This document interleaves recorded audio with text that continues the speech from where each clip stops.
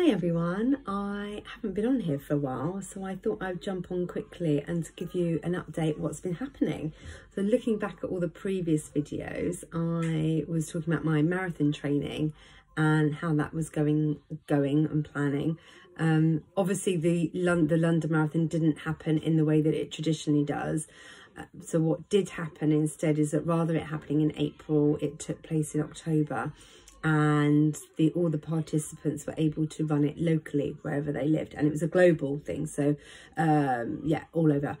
And what my training partner and I decided to do is that to do a 10k loop and lap it four times which meant that every time we went past the starting point um some of our friends our running friends could join us on that 10k loop uh, keeping keeping to the maximum of six people for an outside acti activity but it can it what it meant was is that uh, we had fresh legs, we had fresh conversation and just energy and motivation because by uh, towards the end of lap three, like the 23 mile marker, everything was starting to hurt.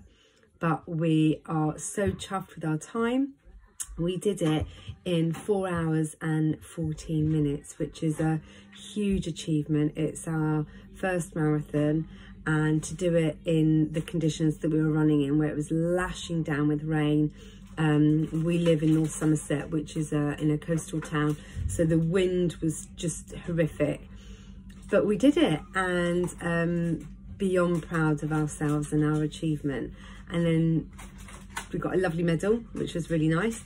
And then this week it was confirmed that we've got our place for London 21 so it will happen in October next year rather than April, just because they want to take all the necessary precautions and safeguarding um, for COVID.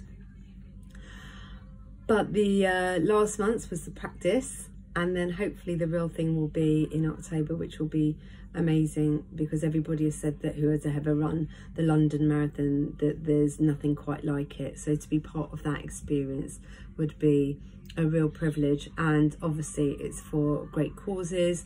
I'm running for kith and kids which is a charity that um, supports kids with autism and learning difficulties. So it's really important especially now more than ever that the char charities still get their support the um, business the diet um, my clients have been amazing. They're so resilient um, just cracking on with their progress.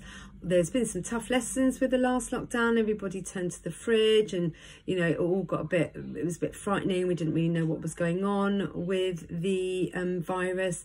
And i think that now that we're in the second lockdown we've all just realized actually we can't go back to old behaviors. We can't really eat and drink the way that we were so it's been a busy couple of weeks just making sure that everyone's got all their products that they need um yeah, so I'm going to make a conscious effort to do these more often.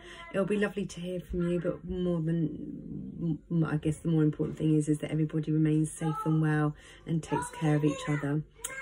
That's my kids, so that's probably a good time to go, but um, it's coming up to Friday evening, so um, have a lovely evening and a great weekend, and uh, hopefully I'll catch up with you soon.